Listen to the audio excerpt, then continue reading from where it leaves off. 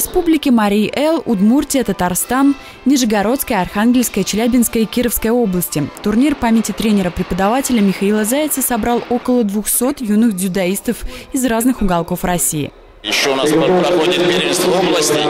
Скажите, как тренер, дзюдоисты слободские радуют? Ну, я думаю, что это все видно.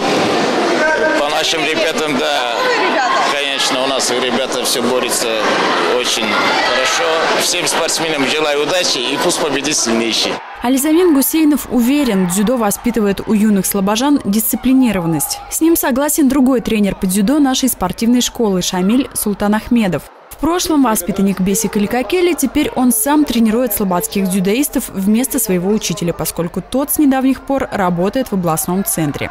Есть свои трудности, но в целом справляюсь. Так что нормально, мне нравится. Я пришел, у меня были готовые ребята, с которыми нужно просто дальше грамотно работать, вот, что я сейчас стараюсь делать. Дзюдо – зрелищная и динамичная борьба. И за победу тоже нужно бороться.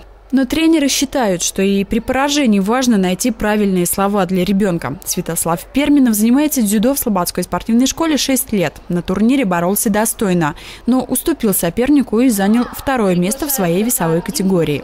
Надеялся на победу? Ну скажи, сложные были поединки? Ну да. Хочу сказать спасибо своему тренеру Гусейнову Ализамину Исааглы и Шамилю Азизаевичу. Ты хочешь стать спортсменом? Да. Да. Мне папа сказал, то, что можно идти в дзюдо, а можно в карате. Я выбрала дзюдо. Уже участвовала в Елабуге и в Сыктывкаре. По итогам напряженных поединков, 8 юных дзюдоистов Слободской спортивной школы стали победителями в своих возрастных группах и весовых категориях. Максима Исупова также наградили специальным призом в номинации «За лучшую технику».